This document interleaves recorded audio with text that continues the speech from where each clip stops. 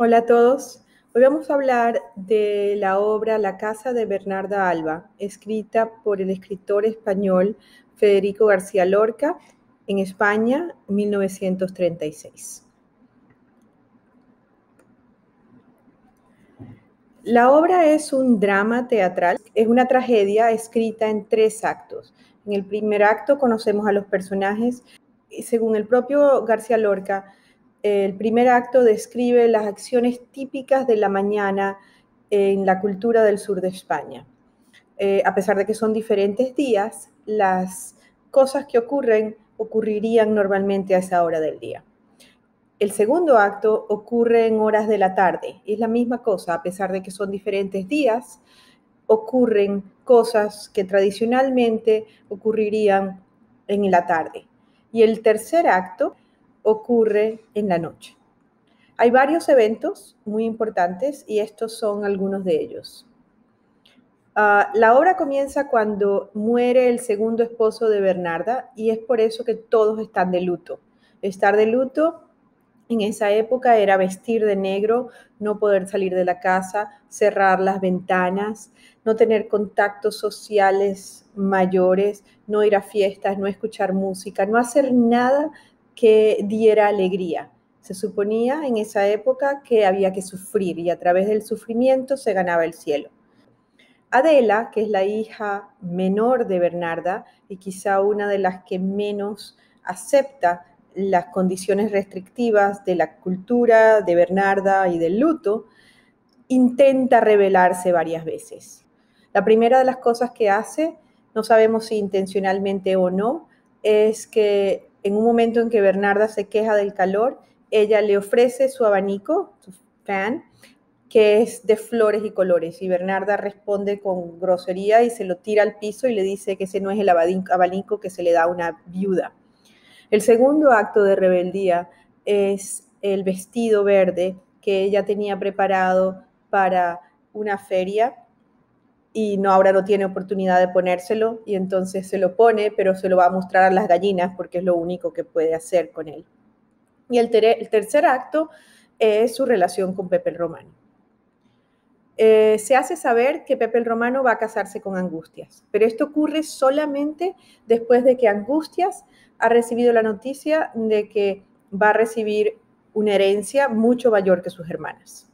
Pepe el Romano tendrá aproximadamente unos 25 años y Angustias tiene casi 40, cosa que hace obvia la situación de interés material por parte de Pepe el Romano y nos deja, decir que quizá no es tan buen partido como las demás piensan, pero aparentemente era el único hombre bello, joven que había en el pueblo. Se sabe por las conversaciones de Adela con sus hermanas y con la Poncia que Adela y Pepe tienen relaciones en el establo en la noche. A lo largo de toda la obra hay referencias ocultas a esas cosas. La Bernarda criaba caballos. Cuando se crían caballos, se tiene un padrote o un caballo garañón, que es el caballo que produce las crías en las otras yeguas. El caballo garañón se vuelve loco en las noches, se desespera, posiblemente porque las yeguas están en celo o porque él está desesperado por sus instintos masculinos. En la obra de Lorca, el caballo siempre simboliza masculinidad y muerte. de alguna manera, Pepe es el caballo garañón, que da patadas a la casa, que, para Bernarda dice eh, en algún momento que van, les va a tumbar la casa y que crea todos estos problemas entre las hermanas. Martirio se roba el retrato de Pepe y lo esconde debajo de su almohada es su única forma de expresar sus deseos. Ella no es tan atrevida como, como Adela y esto se muestra muy bien, cómo hay diferentes formas de actuar en esa sociedad y siempre hay personas que aceptan con sumisión, hay personas que aceptan pero hacen algunas cosas más pequeñas y hay personas que simplemente no lo pueden tolerar y se rebelan, como es el caso de Adela hay un evento importante que ocurre fuera de la casa. En esa época el único contacto social que tenían las mujeres decentes que no podían salir de la casa eran las ventanas.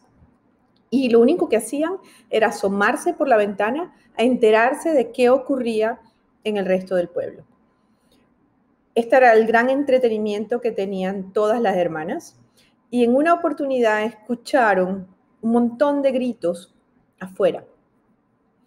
Y para no dar la impresión de que ellas eran curiosas, mandan a la Poncia a averiguar qué es lo que está ocurriendo en la calle y por qué la gente está gritando de esa manera. Cuando llega la Poncia, dice que lo que ha ocurrido es que hay una muchacha, hija de una señora que se llama La Librada, que tuvo un bebé y lo mató, porque en esa época una mujer que tuviera un bebé sin haber estado casada era terrible y ella decide hacer eso. Y en consecuencia, el pueblo entero se le viene encima a apedrearla y a matarla antes de que llegue la policía. Hay que entender que en esa época el objetivo primordial de una mujer era tener hijos, era ser madre. Hacer cualquier cosa que fuera en contra de lo que era su meta en la vida era mal visto y era juzgado terriblemente. Una cosa era quedar embarazada, ya quedaban anuladas socialmente, pero al menos tenían la opción de continuar con su camino y dedicar su vida al hijo que iban a tener. Pero ser madre y no y, matar al hijo era en esa época intolerable. Y de hecho, en ese momento, cuando ocurre eso, Bernarda dice que sí, que la maten, y es el momento en que nos damos cuenta o asumimos que Adela está embarazada o podría estar embarazada. Ella sabe que es muy probable que con lo que está haciendo con Pepe todas las noches, es probable que en algún momento ella termine igual que esa muchacha. Y por eso se pone las manos en el vientre, en la barriga, y dice, matarla no, matarla no, porque ella se ve en el espejo de lo que le está ocurriendo a esa muchacha. Martirio descubre a Adela con Pepe y toda la familia se entera del secreto de Adela. Es importante ver que aun cuando nosotros vemos a Adela como rebelde, la rebeldía llega hasta un límite que en esa sociedad quizá no le permitía más. Y es que ella siempre se ve supeditada a Pepe. Es decir, no es una, una mujer rebelde e independiente que quiere vivir sola y hacer su vida. Es una mujer que se revela contra Bernarda y quiere que Pepe la vaya a ver cuando él quiera y no le importa convertirse en la amante de Pepe y que sea Pepe el que maneje su vida. De manera que hasta ese punto llegaba el control de los hombres a las mujeres en ese momento. Cuando Adela, cuando todo el mundo se despierta en la noche y se dan cuenta de lo que ha ocurrido, Martirio le dice a Bernarda que Pepe está fuera y Bernarda toma la escopeta y sale dispuesta a matarlo o al menos asustarlo. Ella dispara, pero no lo mata. Pepe sale corriendo, pero cuando entra a la casa, las palabras que salen de su boca son, se acabó Pepe el Romano. En ese momento Adela cree que Pepe está muerto y se encierra en el cuarto, se cuelga. Bernarda después aclara que las mujeres no saben disparar y esa es otra vez otro otra acotación de ese machismo de la época y nos dice que Pepe salió y que estaba ileso y que está vivo. Así termina la historia. A pesar de todo lo que ha ocurrido, el extremo mayor es la obsesión de Bernarda con el qué dirán social, que en ese momento tan terrible, lo único o lo primero que sale de su boca es que digan que Adela ha muerto virgen, que la hija de Bernarda Alba ha muerto virgen. Esas son sus palabras, no son ningunas otras. Y que se hundirán en un mar de luto. Si antes era estricto, ahora será aún más. Es importante ver algunas cosas de la sociedad española. El hecho de que toda la obra sea dentro de paredes blancas y la gente esté vestida totalmente de negro, y en todo momento están dentro de la casa, refleja la cultura y las reglas estrictas de la sociedad. Cosas eran blanco y negro, nada más, no había grises.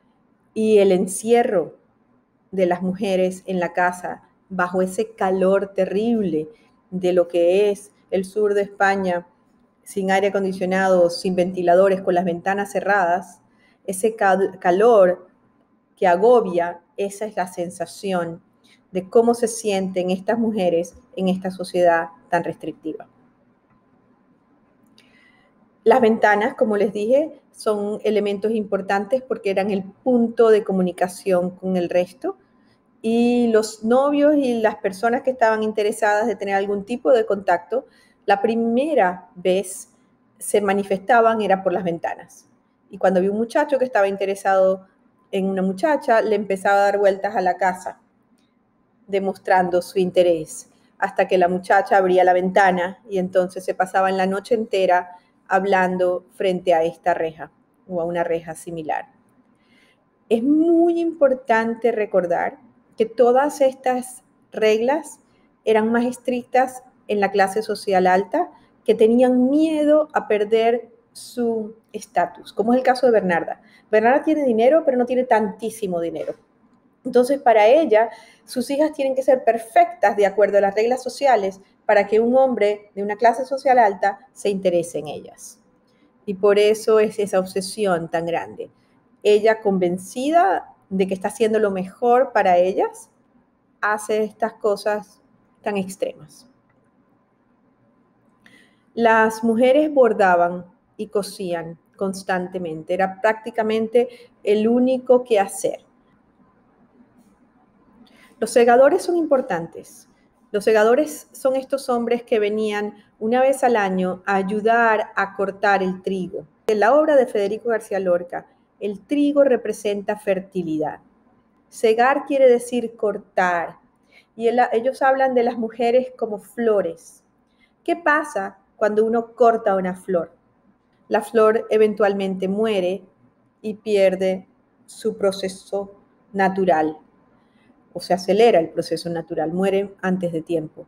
Es lo mismo que pasaba con las mujeres que caían en las garras de estos hombres, que llegaban a enamorarlas y después posiblemente ellas también se enamoraban de ellos, caían bajo la tentación de estos, de estos hombres jóvenes, fuertes, bellos, y después quedaban troncadas o cegadas para el resto de la sociedad porque simplemente eran mal vistas por no ser puras.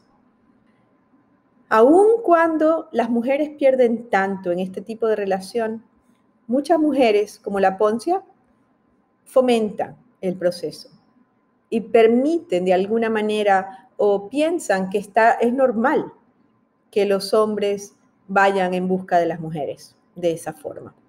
¿Por qué? Porque en esa época los hombres eran vistos como responsables de producir, producir hijos, producir dinero. Y mientras más mujeres tuvieran y más dinero hicieran, mejores candidatos eran porque demostraban su capacidad de producción. Los caballos son importantes porque simbolizan muerte, que es el final de la obra, y al mismo tiempo simbolizan la masculinidad.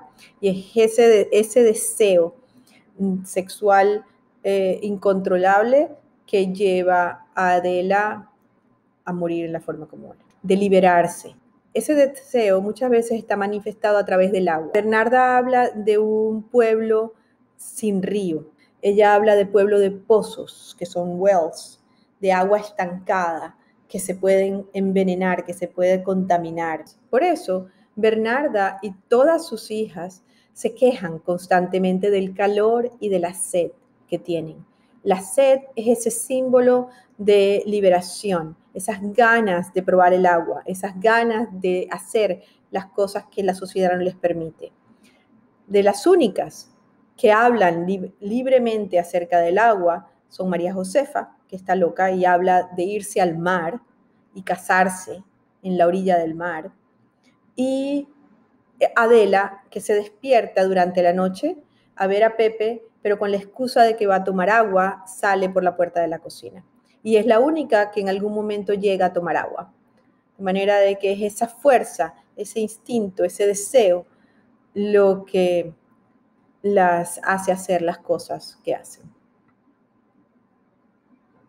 Hablamos de algunos símbolos importantes. La mula, sin desbravar, es la mula que está esperando que llegue el caballo para preñarla. Simbolizan obviamente Adela y su relación con Pepe. Bernarda, que habla del pueblo que no tiene río, solo pozos, y cuáles son esos símbolos opuestos de esa agua. El calor y las mujeres que tienen sed son muchos de los símbolos. También hay colores, colores importantes, el blanco y el negro. El negro de las mujeres que están de luto y las paredes blancas que muestran las reglas de la sociedad. Y el deseo de libertad de Adela, que se representa en el vestido verde que se pone para ir a ver las gallinas. El verde en Federico García Lorca es juventud, deseos de vivir, y eso es lo que, lo que Adela trata de expresar. Hay dos temas predominantes en esta obra, el honor y el qué dirán, la opinión social. Se podría decir que estos temas son la causa de la desgracia de las hijas de Bernarda. ¿Hasta qué punto el culpable de todo lo que ocurre no es Bernarda, sino la sociedad misma que impone estas reglas? Comenten. Y este es el fin. Espero que les ayude.